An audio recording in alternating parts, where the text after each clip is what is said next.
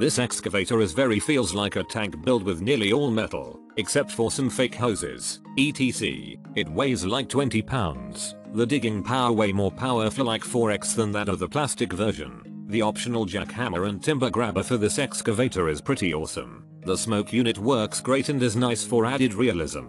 The controller it has two joysticks is more on par with the real machine compared to buttons of the normal plastic version and the optional on timeout function is awesome for the younger kids playtime. I believe the battery is lithium ion. It has 2000 mAh with a XT30 connector the battery lasts for quite a while 30 minutes to 1 hour. Overall this excavator is awesome since it's made out of all metal. Very nice, heavy. I only gave it a 4 star rating because it didn't have the manual. Amazon did the best they could trying to resolve the issue of the missing manual. I ended up calling the seller myself. Top Race needs more customer service people. It took 35 minutes to get in touch with someone, but once I got someone they tried their best to fix my manual issue. Top Race emailed me a manual ASAP but it's not readable once you increase the size of the picture. Now, I asked them to send a manual my mail. Let's see if they do. I would have gave it a 5 star review if the manual was included. Update. My manual came in the mail today. Also, since I've made this posting,